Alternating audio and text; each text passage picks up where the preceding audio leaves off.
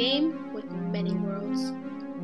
But sometimes you can't go to a certain world. So, you do what anyone else would do recycle your animal. Yet, have you ever wondered?